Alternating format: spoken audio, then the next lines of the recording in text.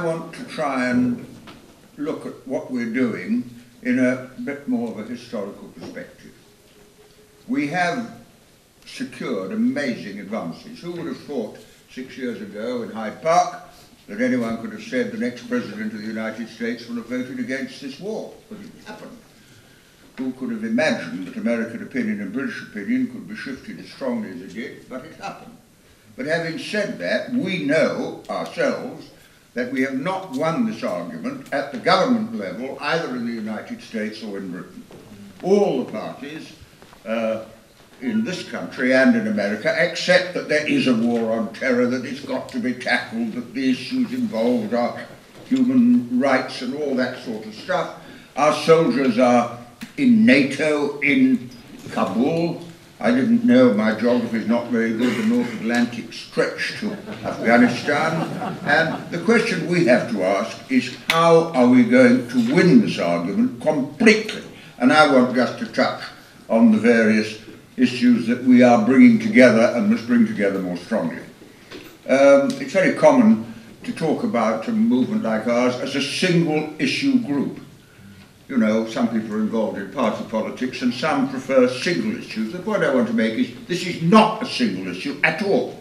It is a very, very broad issue, like most single issues which presented in that way. I mean, the anti-apartheid movement was a single issue group, the Tolpuddle Martyrs was a single issue group, the Chartists and the suffragettes, but we know from experience that when a single issue is raised, it touches on many other issues as well. And I think the first thing to say, and it's just worth saying, is that the war in Iraq and Afghanistan is actually one of the oldest wars you can imagine. It is an imperialist war where powerful countries invade other countries in order to steal their resources. And that's not new. The British Empire was based on that. I think, that, I think that's worth saying because, first of all, it's true, but also it sets what we're engaged in against the proper historical perspective.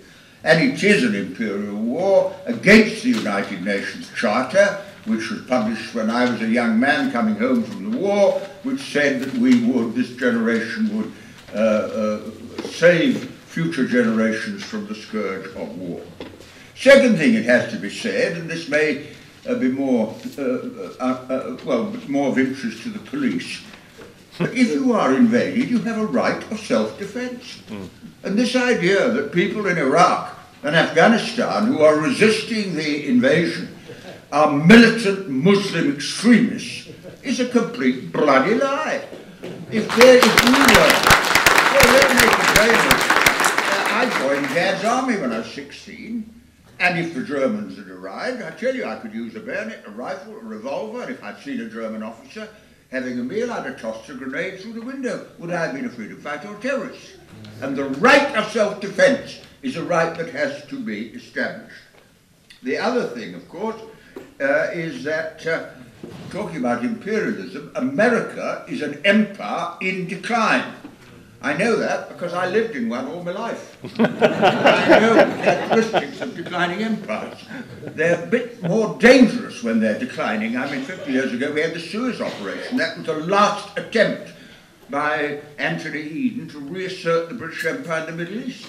And a, declining empire, like a wounded tiger, can be very, very dangerous. But don't make any mistake, if we are having a, we're having a meeting 100 years from now, uh, the Chinese and the Indian and other empires would have come up, and we would see the American empire in its proper historical perspective. The next thing to say about it, and it's very, very important, and that is the misuse of religion to justify this war. Mr. Blair has found a new function as an agent for the Almighty, and he has launched a campaign for faith and world peace, and he identifies these militant Muslim extremists as people who've got to be dealt with. Well, put quite candidly, he is a militant Christian extremist who's using religion in order to justify the occupation of those countries. Uh, what he does with his faith is a matter for him. Um, I'm not in favour of hanging Bush or Blair, but I would like to see a war crimes tribunal that identified the crimes so he had to live with them till the day he died, then it's also a question about torture. War is sanitized by the media, but to be quite candid, war is about killing people, it's about plunder, it's about rape, it's about torture. That's what war is. And it's a characteristic of all wars. And I'm glad Obama is publishing more information about the tortures in America because, truthfully, if that's the sort of information that was published about, about Iraq in the old days, and I don't doubt there was uh, torture in Iraq, uh, people said, oh, of course, our values don't allow us to do it, and they do allow us to do it, and we do do it. Then there's the question of civil liberties, as Andrew mentioned. I mean, the anti-terrorism legislation is being used now to repress popular demonstrations in Britain on political issues.